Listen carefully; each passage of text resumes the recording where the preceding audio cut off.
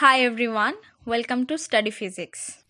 Here is the question number 27. The value of the integral integration of minus infinity to plus infinity cos of kx by x square plus a square where k greater than 0 and a greater than 0 is and these are the four options.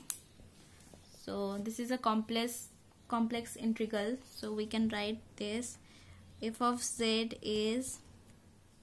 minus infinity to plus infinity cos of kz by z square plus a square. And we know to find the poles we have to put the denominator is z square plus a square equal to 0 so z square is minus of a square and z is plus minus ai so z equal to plus ai and z equal to minus ai these are the two poles. Now cos is a real function of e to the power i kz so this equal to real minus of infinity to infinity e to the power i kz by z plus ai z minus ai if we draw the contour this is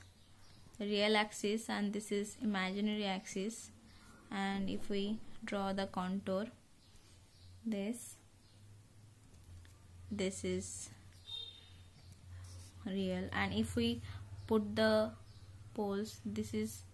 if this is ai and this is minus ai so we have to deal with only plus ai because minus ai is not in the contour. So for z equal to ai limit of z tends to ai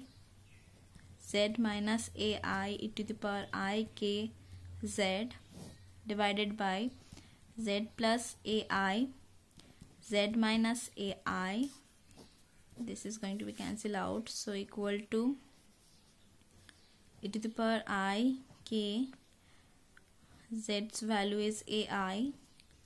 divided by 2 ai so this is e to the power minus ka and this is 2a now the value of the function is 2 pi i into e to the power minus ka divided by 2ai so pi by a into e to the power minus ka so the correct option is option a. Thank you for watching this video. Please like share and subscribe